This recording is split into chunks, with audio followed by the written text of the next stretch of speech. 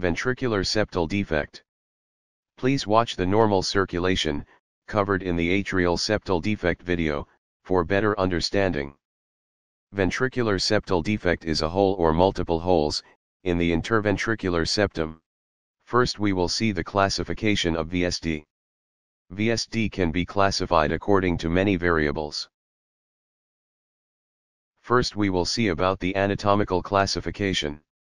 To understand it we have to know about the parts of the interventricular septum. Interventricular septum has four parts.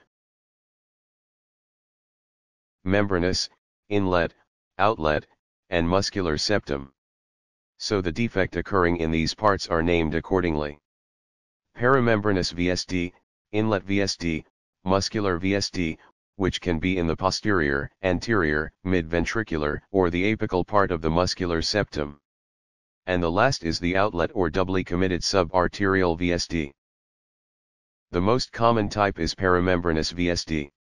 The second classification is according to the size of the VSD, by echocardiography. A small VSD is less than 33% of aortic annular size. A moderate-sized VSD is 33 to 75% of aortic annular size. And a large VSD is more than 75% of aortic annular size. The third classification is according to the Cath study. A small VSD has a QPQS ratio less than 1.4. A moderate-sized VSD has a QPQS ratio between 1.4 to 2.2. A large VSD has a QPQS ratio more than 2.2. Cath study can also find the VSD resistance index. If the index is more than 20 units per meter square the VSD is called restrictive VSD. Small VSD are usually the restrictive type. If the index is less than 20 units per meter square the VSD is called non-restrictive VSD, these are usually the large VSDs.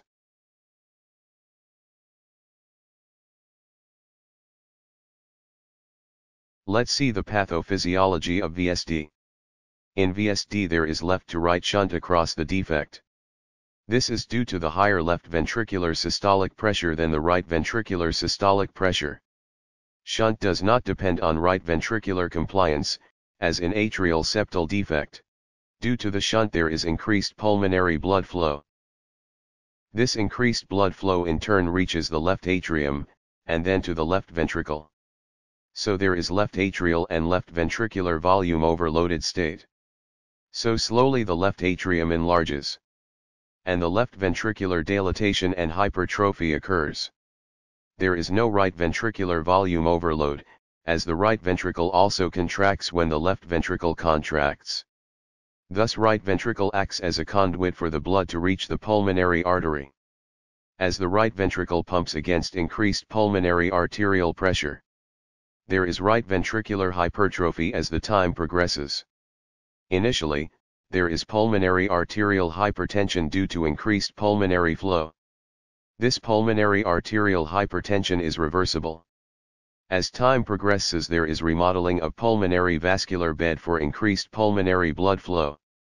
This increases the pulmonary vascular resistance. Pulmonary arterial hypertension due to increased PVR is usually irreversible. The pulmonary artery becomes prominent, but not much dilated as in atrial septal defect. Let's see the clinical features of VSD. In small VSD, the children are usually asymptomatic. In moderate to large VSD, the symptoms develop in infancy itself. Babies can develop congestive heart failure symptoms due to left ventricular volume overloaded state, due to the shunt.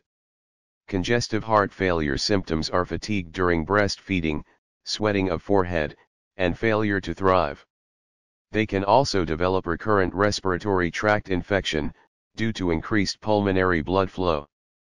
In moderate VSD, the symptoms are similar to that of large VSD, but with less severity. On physical examination, small VSD has pansystolic or early systolic murmur, at the lower left sternal border. Second heart sound splits normally, and P2 is normal. There is also systolic thrill at the lower left sternal border. Large VSD, has the classical pansystolic murmur at the lower left sternal border. There is also a mid-diastolic murmur at the apical region due to increased flow across mitral valve, thus producing relative mitral stenosis. Second heart sound is narrow split, and P2 is loud. Ejection click may be audible in the upper left sternal border, if pulmonary hypertension is present. There may be a systolic thrill at the lower left sternal border. Moderate VSD has similar auscultatory findings as of large VSD.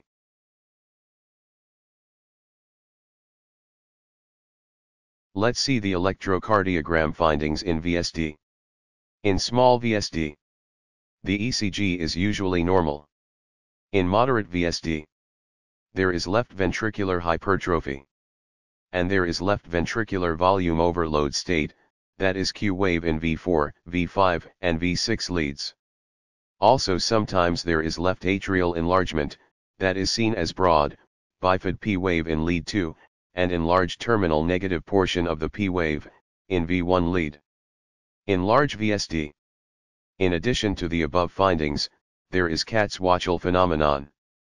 That is tall biphasic RS complexes in the mid-precordial leads V2, V3, or V4, it denotes biventricular hypertrophy.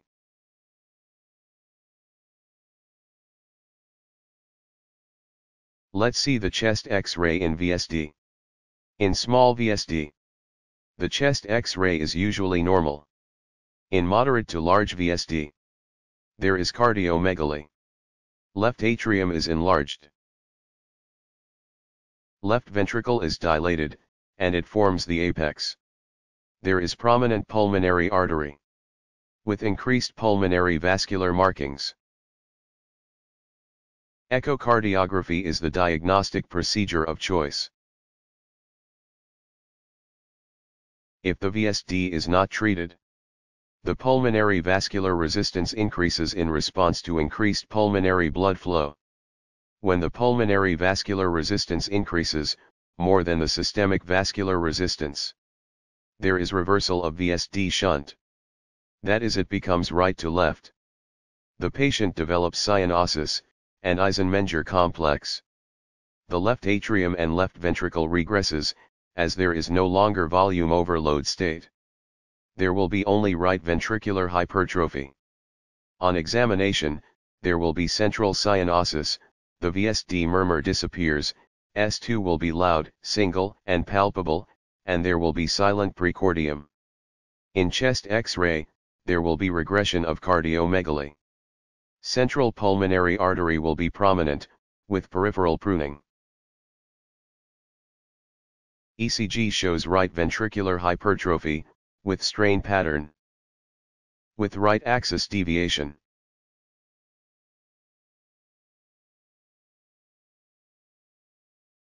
So to prevent these complications, VSD must be closed at appropriate time.